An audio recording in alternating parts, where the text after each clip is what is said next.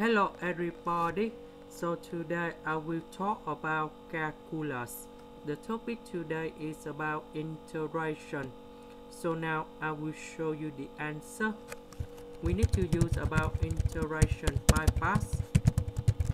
So we have u equal to sine 3x du we got about 3 cosine 3x dx because we do first derivative of this one.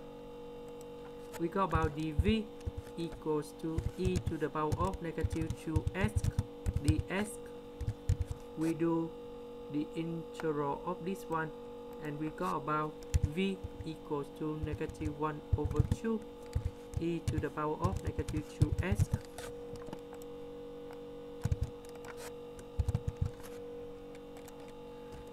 so we got about u multiplied with v.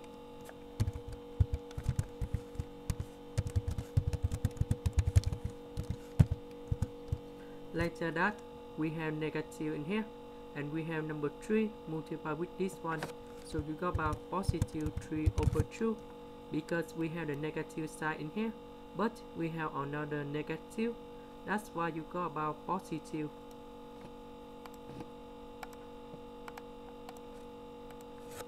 so we got about e to the power of negative 2x cosine 3x dx.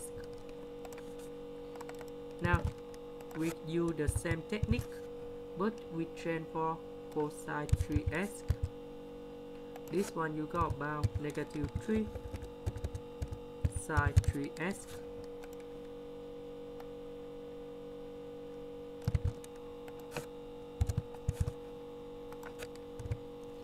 this integration we got about u multiplied with v.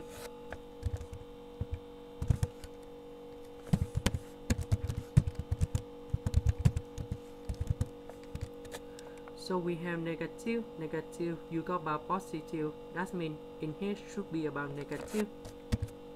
and we got about 3 over 2 and we have the integration similar for this one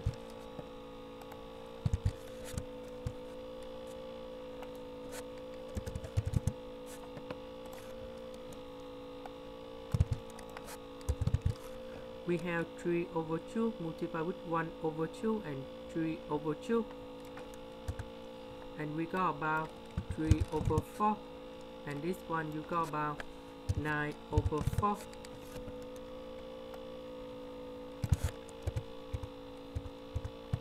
and we just write this one like this.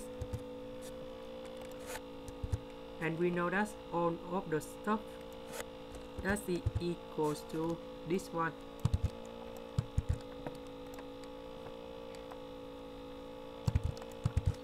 so we put this one go to the right.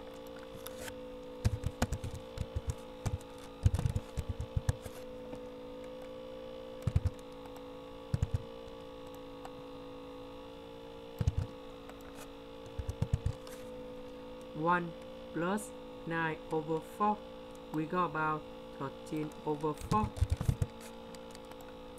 later that we divide both sides with 13 over 4 so we divide both sides with 13 over 4 and we can get the final answer.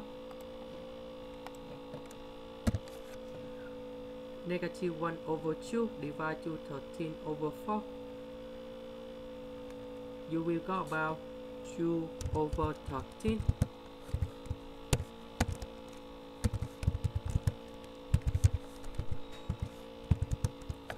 this one we divide to 13 over 4